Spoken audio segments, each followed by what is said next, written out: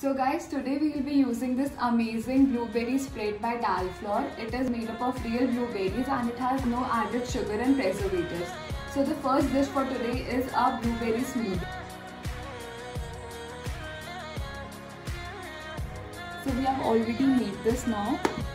Firstly, we'll add some muesli to it. You can add this in the bottom.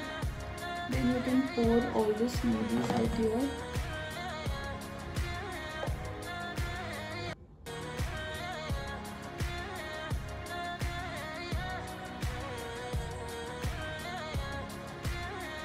Then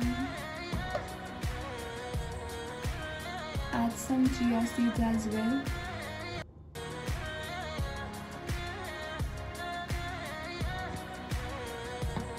And a scoop of really delicious blueberries. Then you're good to go. So guys, for healthy breakfast, you can also use this jam uh, as a spread for uh, breads and you can also make delicious pancakes.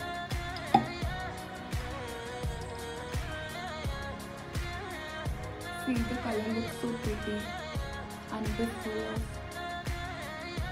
nutrition.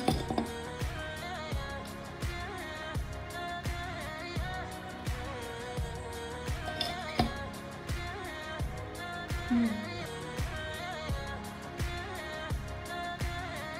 Next we have this pancake.